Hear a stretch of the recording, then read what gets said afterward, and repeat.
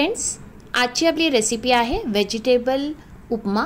त्यासाठी आपण काय काय घेतले ते बघूया. फोडणीसाठी उडदाची डाळ घेतली आहे कढीपत्ता दोन मिरच्या घेतलेल्या आहेत आपण. शिमला मिरची घेतली आहे थोडीशी बारीक चिरून. गाजर घेतला आहे बारीक चिरून.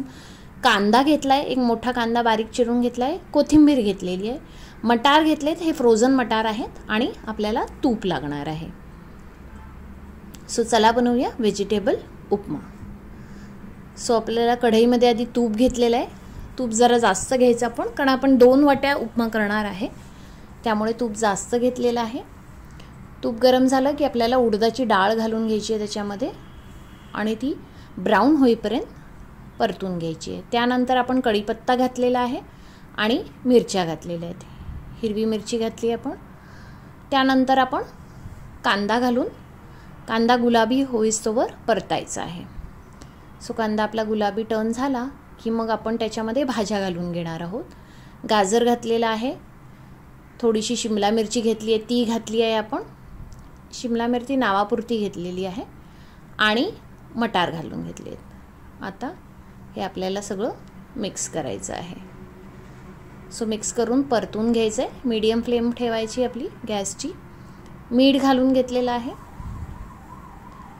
मीठ घालून पुन्हा एकदा आपण मिक्स करून घेणार आहोत. त्यानंतर आपण ह्यामध्ये दोन वाटी रवा घालणार आहोत. सो रवा घालून घेतला आहे मी दोन वाट्या. ही दुसरी वाटी झाली आणि आता आपण रवा भाजून घ्या तर एक पाच ते दहा मिनटं आपल्याला भाज्यांबरोबर हा रवा छानपैकी तुपात भाजून घ्यायचा आहे. सो आता एक पाच ते दहा मिनटं आपण हे भाजून घेणार आहोत.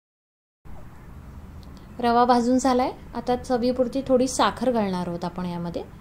आणि आपण लिंबू पिळून घ्यायचा आहे. लिंबू नसेल तर आमचूर पावडरसुद्धा तुम्ही घालू शकता. त्यानंतर आपण त्याच्यामध्ये गरम पाणी घालून घेणार आहोत. सो दोन वाटी रव्याला आपल्याला एक चार वाटी गरम पाणी लागणार आहे.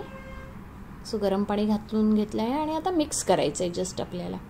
सो त्या गरम पाण्यामुळे आपला रवा भाज्या सगळ्या छानपैकी शिजून रेडी होतात त्यामुळे आपला व्हेजिटेबल उपमा रेडी आहे. तुम्ही नक्की ट्राय करा. खूप छान लागतो हा. एक्झॅक्टली मार्केटमध्ये मिळतो तसा लागतो. सो नक्की ट्राय करा. Thank you so much